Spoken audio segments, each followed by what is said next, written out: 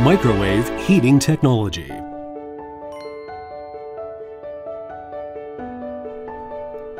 Owing to technological advancement, the dyeing skills experience a continuous improvement. However, conventional factories still use high temperature, high pressure skills for the dyeing process, which not only takes a longer processing time, but also consumes a large amount of energy and water. As such, conventional factories are not able to reduce the production cost.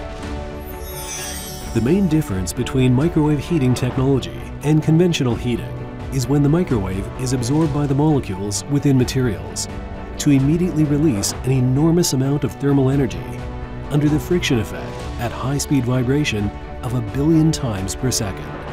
The production time is therefore shortened significantly. The microwave technology is used for the dyeing process of the textiles. The textiles are dipped into the dyeing liquid in the microwave equipment that will emit microwave signal to the dyeing liquid for uniformly coloring the textiles.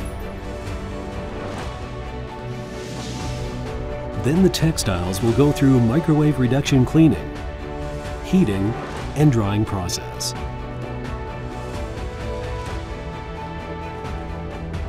The color strength of the textiles can be effectively intensified with microwave dyeing technology to solve the excessive waste of water resources. In addition, the microwave heating equipment is suitable for the functional paste cementation of the high-tech glass coating industry. Shoe glue cementation and the foaming of outsoles for shoe manufacturing industry thermal decomposition of the recycling industry.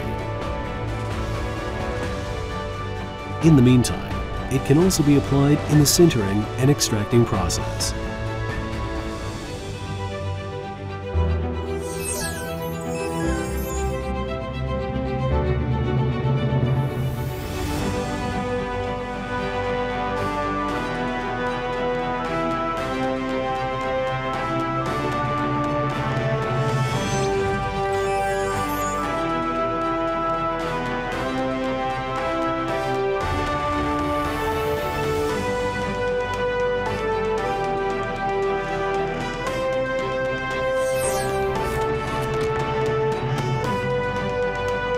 By saving energy and time, microwave heating is used to replace the conventional heating method by reducing the production cost for the industry.